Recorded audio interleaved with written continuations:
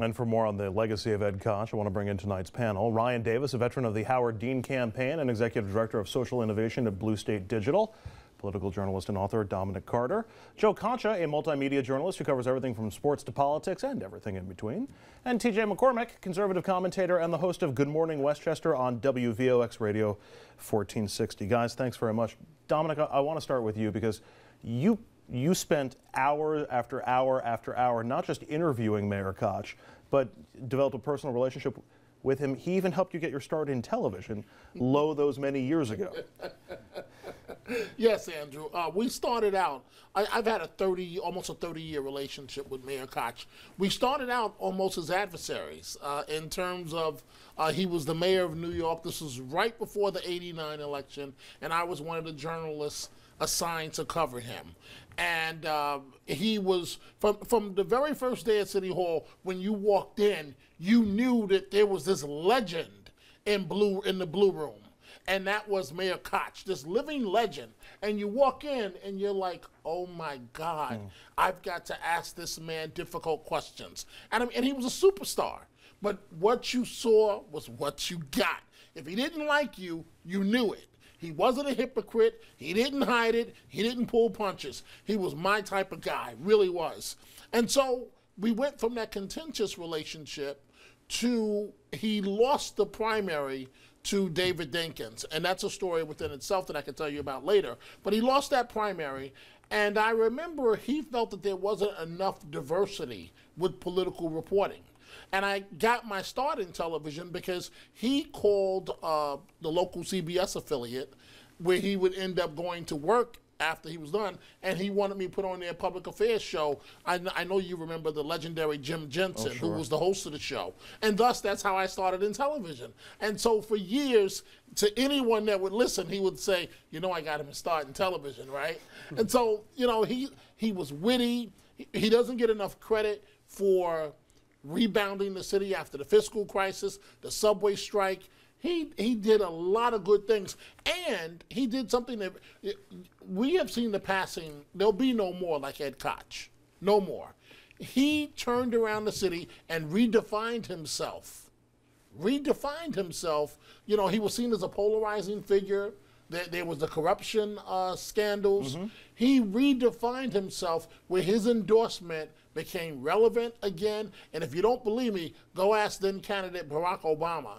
Ed Koch endorsed him, giving him critical Jewish uh, support, then went down to Florida and campaigned for him. Obama won the presidency. He was also big for Hillary Clinton in 2000. I mean, his legacy, he really had an impact that lasted well beyond just his tenure in, in Gracie Mansion. I want, I to go around the table and just get everybody's impressions of, of Ed Koch from however you know far away or whatever perspective you might have had on him. And just what what comes to your mind when you think of Ed Koch? So I don't want to be the, the, the negative guy here on, on, the panel. I think Ed Koch is a fascinating uh, character. He obviously did a lot for New York City. Um, you know, but I, it would be remiss of me not to mention that, that uh, during the height of the AIDS crisis and the beginning of the AIDS crisis, uh, you know, Mayor Koch was uh, nowhere to be seen. Uh, and, and there were a lot of things that other cities were doing, like San Francisco, um, uh, that this mayor could have done and, and, didn't do. And I think that unfortunately that's one of the stains on his legacy. Though this was also in an era when you know, President of the United States never said the word, and right. there was still more panic than there was information. Uh, Joe? I was a little young, but you know, from what I've seen and what I've gathered, two words: no filter and a true centrist, maybe the last true centrist that we've ever seen. Uh, maybe didn't do enough on, on the HIV front, but uh, was a champion of gay rights. On the other hand, he endorsed George W. Bush in 2004. He endorsed Bloomberg when he was a Republican. You couldn't get a read on this guy.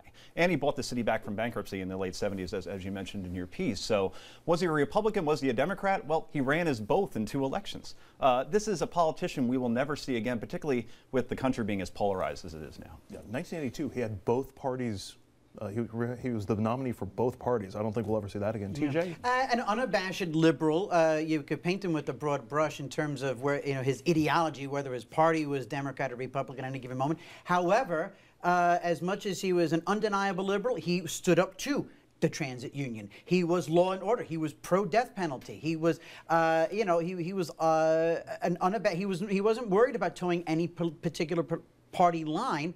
And again, uh, the clo we're closer to the absolute end of an era. He really is the last, one of the last of a dying breed. Dominic, what, what was your take of him uh, just as a man, not, a, not as the mayor, not as the politician, but just, I mean, you said he was a straight shooter. Uh, he was. li- he was he was greatly concerned about his image. Um, he was concerned with what his legacy would be. I know these things to be a fact. He was worried that when he left office, that the corruption scandals would engulf his entire image, and he turned that all around. And I know these things because um, a few months back, I had dinner with him, and um, you know, just to, to go to his apartment and it, it was exactly what I thought it was going to be. When you look around his apartment, he had mementos from everything during his tenure as mayor. And as I'm walking around his apartment looking at different things, he'll, he'd walk right up and go, This is from where, and like a trip to Israel. And he'd have posters back up from, from the tenure when, when, he was, uh, when he was mayor. So he, he was concerned about his legacy, but he's the type of person, you know, very, very much in your face. But he was also, when the cameras were not around, he was concerned about you, the individual. And he would ask you, How are you doing? He'd give you his advice whether you wanted it or not. You know, that's just the type of guy he was. One of the things that, that strikes me about him and, and struck me about him is in this era where, where so many of our political leaders are equivocating on, on every answer, trying to measure their words and come up with, it seemed like he would just shoot straight from the hip and, you know, he, the answer that you got from him on camera would be the same one you would get if it was just the two of you in a room. It's, and that may be the, the, the style that's Yeah. missing from so on, many other On the way to the show, I heard a, a clip of him talking to uh, graduates of the police academy, and he said to them, "He said, you are the salt of the earth. You are so important." And I'm paraphrasing, of course, but he says.